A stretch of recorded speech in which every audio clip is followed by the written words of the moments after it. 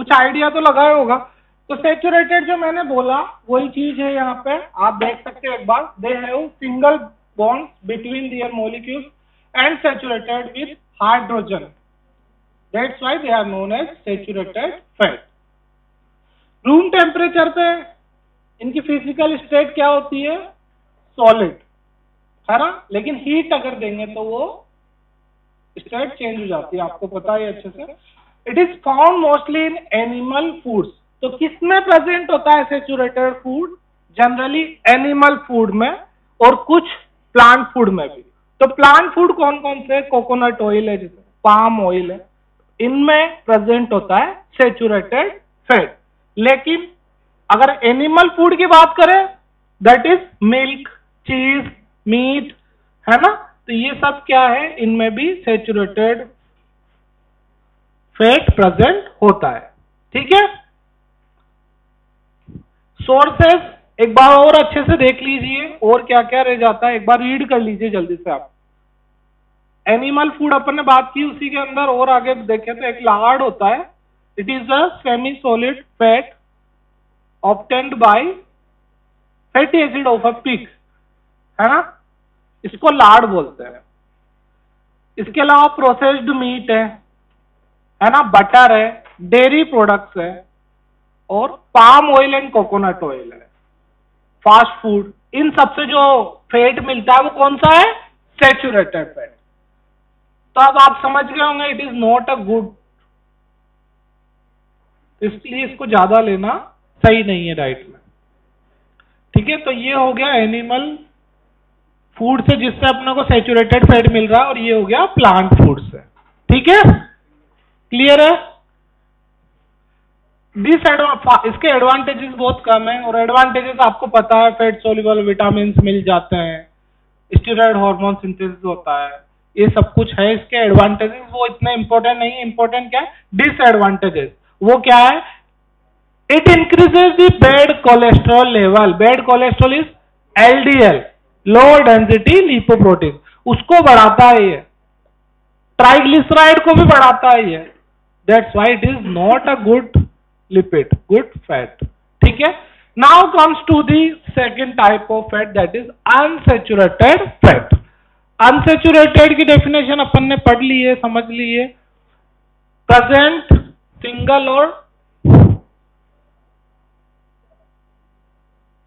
मोर double bonds है ना? तो एक डबल बॉन्ड भी हो सकता है, एक ट्रिपल बॉन्ड भी हो सकता है और ज़्यादा भी हो सकता है। ठीक है?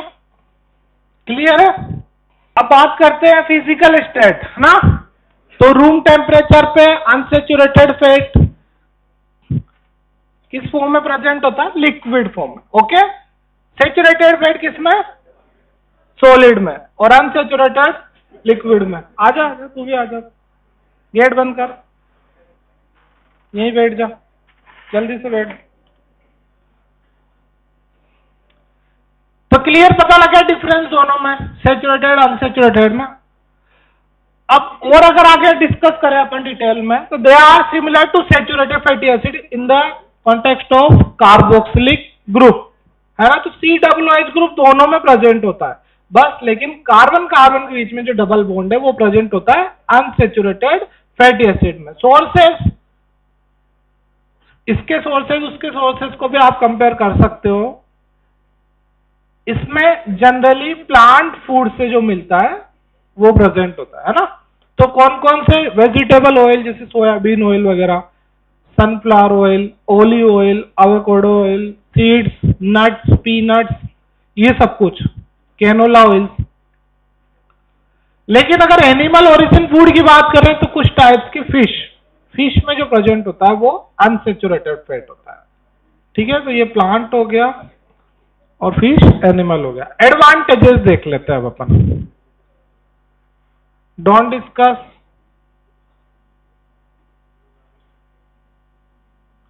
एडवांटेजेस किसके? अनसेचुरेटेड फैट के। तो आप देख सकते हो क्या क्या एडवांटेजेस है इसके? बैड कोलेस्ट्रॉल को कम करता है ये, है ना?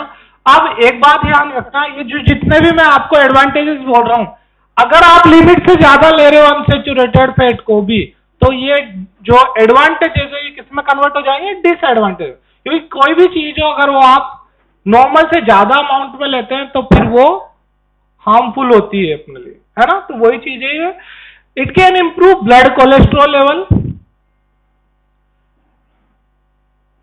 it act as anti inflammatory action तो अगर आप ये लेते हो तो इन्फ्लामेशन भी कहीं ना कहीं कम होगा, क्योंकि एंटीऑक्सीडेंट इसमें प्रेजेंट होते हैं such as vitamin E vitamin E is a powerful antioxidant तो वो प्रेजेंट होता है, उसकी वजह से बहुत सारे प्रॉब्लम्स को ये प्रिवेंट करता है सच एज कैंसर को प्रिवेंट करता है.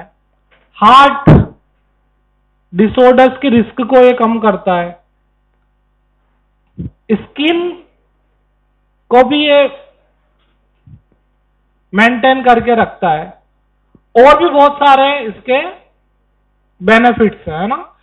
और इसमें इसेंशियल फैटी एसिड ज़्यादा प्रेजेंट होता है तो इसेंशियल फैटी एसिड के आप फीचर्स पता है आपको, और उसकी डेफिशिएंसी से क्या क्या प्रॉब्लम हो सकती है, वो भी आपको पता है। तो वो सारे इसमें अपन लिख सकते हैं। बेड कोलेस्ट्रॉल और ट्राइग्लिसराइड का लेवल ये रिड्यूस करता है। डिसएडवांटेजेस क्या है इसके केनोला ऑयल पहले बात तो केनोला ऑयल क्या होता है?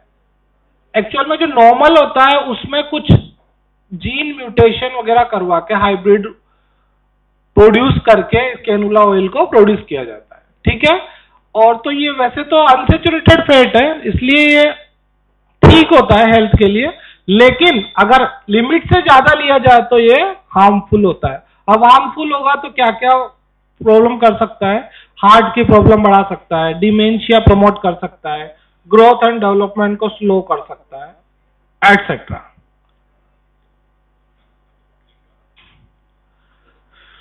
अब अपन ने बात की अनसेचुरेटेड भी टू टाइप्स के हैं मोनो एंड पोली है ना?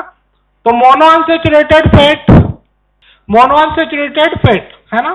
तो they are found in high concentration तो मोनो अनसेचुरेटेड फैट की बात करें तो अपने सेचुरेटेड में कुछ चीज़ें मोनो में रहेगी और कुछ पोली में रहेगी। तो जैसे पीनट ऑयल की बात की canola oil olive oil avocado nuts almonds तो ये सारी चीज़ें जो है, ये किसमें? मोनो में आएगी और पोली में आ जाएँगे वॉलनट्स फ्लैक्स जो ये सी फिशेज होती है और कैनोला ऑयल में दोनों प्रेजेंट होते हैं, है ना? तो कैनोला ऑयल की स्पेशल चीज़ ये है कि ये वैसे तो हाई होता है, इसमें मोनो अनसेचुरेटेड फैट लेकिन पोली भी इसमें प्रेजेंट होता है, इसलिए इसको ठीक मानते हैं। ओमेगा थ्री ओमेगा सिक्स भी प्रेजेंट होता है तो omega three fat is a type of PUFA. Omega 3 fatty acid is a type of PUFA. Okay? और बॉडी जो है, अपने आप इसको सिंथेसाइज नहीं कर पाती है प्यूफा है ना? किसको? ओमेगा थ्री को। ठीक है? An excellent way to get omega three fat is by eating fish two three times a week अगर कहीं ना कहीं स्टडीज़ में बताया गया है, अगर आपको ओमेगा थ्री फैट की डेफिशिएंसी है तो अगर फ़िश अगर आप ठीक ठाक अमाउंट में लेते हो तो ये इस जो डेफिशिएंसी को, इसको फुलफिल किया जा सकता है। अमेरिकन हार्ट एसोसिएशन है इसने सजेस्ट किया है, क्या? कि 8 to 10 percent of daily calories should come from PUFA किससे मिलेगी? प्यूफा से। एच एस यानी कि American Heart Association suggest that eight to ten percent daily calories should come from PUFA and there is evidence that eating more PUFA up to fifteen percent of daily calories in place of saturated fat can lower heart disease risk यानी कि अगर आप unsaturated fat ठीक ठाक amount में लेते हैं तो आपके हार्ट डिज़ीज़ की प्रॉब्लम को कम किया जा सकता है। ठीक है? Next third type of fat is trans fat कौन सी? ट्रांस फैट सीधे खड़े हो। ट्रांस फैट ट्रांस फैट क्या होता है? सेचुरेटेड तो अपन पहले भी पढ़ चुके हो। अनसेचुरेटेड भी पढ़ रहा है प्यूफा भी पढ़ रखा है म्यूफा भी पढ़ रखा है। ये क्या आ गया ट्रांसफेट तो ट्रांसफेट जो है जनरली लिक्विड फॉर्म में प्रेजेंट होता है और इसको सॉलिड फॉर्म में कन्वर्ट किया जाता है आर्टिफिशियली है ना? फ़ूड इंडस्ट्रीज़ में, है ना? कुछ वेरियस टेक्निक्स को यूज़ करके। कैसे उसको अपन देखेंगे अभी? They are present in dairy products and in hydrogenated edible oils. They are made by heating liquid vegetable oils. In the presence of hydrogen, gas, and a catalyst. और इस process को हम बोलते हैं हाइड्रोजनेशन कुल मिला के जो वेजिटेबल ऑयल्स होते हैं, उनका हाइड्रोजनेशन किया जाता है कैसे कैटालिस्ट को यूज़ करके और हाइड्रोजन गैस की प्रेजेंस में तो partially hydrogenated vegetable oils makes them more stable and less likely to become rancid. This process also converts the oil into a solid, which which make them function as margarine or shortening. तो कुल मिला के आपने बात की हमने किसकी? कि वेजिटेबल ऑयल को किस तरह से हाइड्रोजनेशन किया जाता है और उसको किसमें कन्वर्ट करते हैं? ट्रांसफेट में। For these reason partially hydrogenated oils become most and restaurant and the food industry है ना? For frying for baked food okay जो भी स्नैक्स वगैरह जो यूज़ करते हैं हम पैक्ड आइटम वो उनमें जनरली प्रेजेंट होता है trans fat and it is very harmful for us they are generally considered to be injurious to health. And however, they are used in food industry as they increase the shelf life of the fried food. अब use क्यों कर रहे हैं इसको? क्योंकि अगर इसको use करने से वो ज़्यादा दिन तक प्रोटेक्टेड रहेगा। जो भी पैक्ड फ़ूड होता है जनरली उसमें यही सीन होता है। Oils containing PUFA also have high content of trans fat okay fast food में तो जनरली प्रेजेंट होता ही। है इसके एडवर्स इफ़ेक्ट क्या क्या हो सकते हैं? आप देख सकते हो। क्रोनिक डिजीजेज हो सकती है। सिस्टेमिक इंफ्लामेशन हो सकते हैं। एंडोथीलियल डिस्फंक्शन हो सकते हैं। Insulin resistance diabetes and adiposity ये सारी प्रॉब्लम्स हो सकती किसकी वजह से।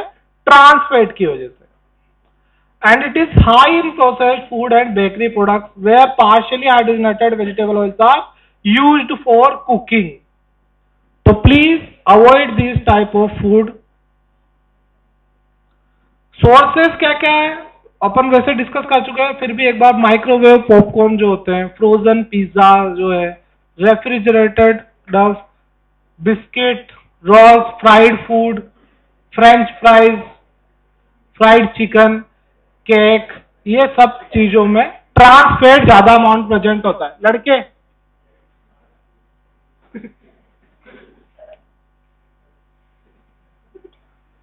ये सब है ट्रांसफेट कंटेनिंग फ़ूड तो एडवांटेज डिसएडवांटेज अपन थोड़ा वो डिस्कस कर चुके हैं, और देख लेते थोड़ा सा। Trans fats are worst type of fat for the heart blood vessel and rest of body क्यों?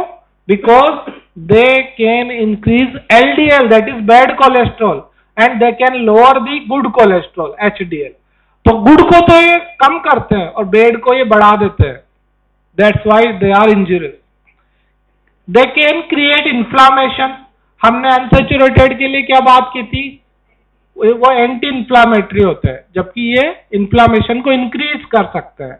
और फिर इंफ्लामेशन अगर इंक्रीज होगा और भी इम्यूनिटी वीक होगी तो आगे जाके diabetes stroke other chronic conditions हो सकती है। कंट्रीब्यूट टू इंसुलिन रेजिस्टेंस जो diabetes type two mellitus diabetes mellitus type two होता है, वो क्या होता है उसमें? इंसुलिन रेजिस्टेंस हो जाते हैं अपनी बॉडी तो वो इंसुलिन रेजिस्टेंस को भी ये इंड्यूस करता है प्रमोट करता है। And that decrease the risk of some types of cancer है तो एक तरह से समराइज फॉर्म में अगर अपन बात करें तो ये सारी अपन अब आज की क्लास में डिस्कस किया है सेचुरेटेड फैट क्या है अनसेचुरेटेड फैट क्या है म्यूफा क्या है प्यूफा क्या है omega three fatty acid omega six fatty acid कौन सी वाली फैट में इंक्लूड करते हैं, और ट्रांस फैट के क्या क्या इफेक्ट्स हैं, है ना? तो ये एडवर्स इफ़ेक्ट तो ये सारी चीज़ें आपको पता होना चाहिए, तभी आप आगे जाके इसको अपनी क्लिनिकल लाइफ में ऐड करोगे तो आपको ज़्यादा अच्छे रिज़ल्ट मिलेंगे पेशेंट के रिगार्डिंग ठीक है? केवल पेशेंट के रिगार्डिंग नहीं, अपने खुद की और अपनी फैमिली अपने आस पड़ोस के जो नेबर्स हैं, सभी के लिए अगर आप इनको इम्प्लीमेंट करते हो तो आप लोगों को ज़्यादा अच्छे रिज़ल्ट मिल सकते हैं। ओके क्लियर है? क्वेश्चन क्या क्या आ सकता है एग्ज़ाम में? तो आप देख सकते हो जो पढ़ाया है, ये सारे क्वेश्चन की फॉर्म में बता दिए मैंने। ये क्वेश्चन आ सकते हैं हमारे एग्ज़ाम में। ठीक है?